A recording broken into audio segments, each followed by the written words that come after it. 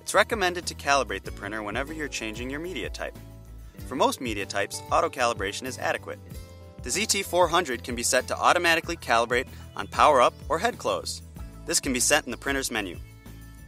In order to place the image in the correct position on the media, you must first identify the features in the media you'd like the printer to detect. Second, you must make sure the sensors in your printer are set up to detect those features.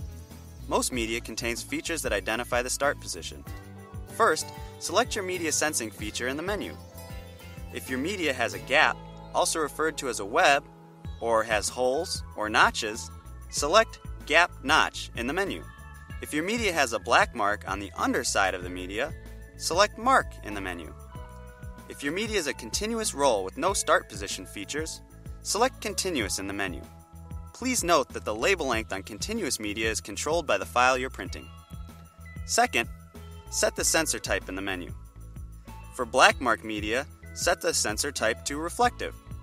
For all other types of media, set the sensor to transmissive. Now, load the media and ribbon. Make sure the media and ribbon are fully inserted.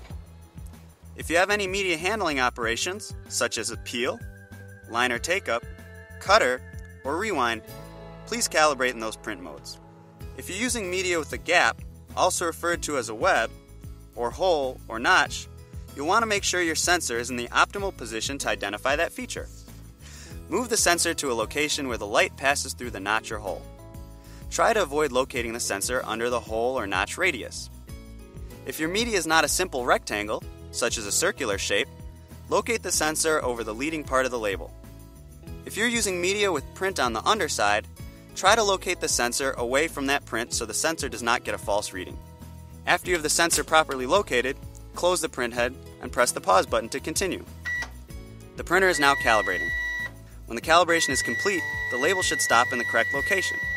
You can check that your calibration was successful by pressing the feed button and ensuring your media feeds to the correct location. If you're having difficulty calibrating your printer consistently, it's recommended you perform a manual calibration. Please refer to the ZT400 manual calibration video. If you're using special or custom media and having issues calibrating, please make sure it meets the ZT400 media specification. If this video is helpful and you'd like to see more videos, please like this video.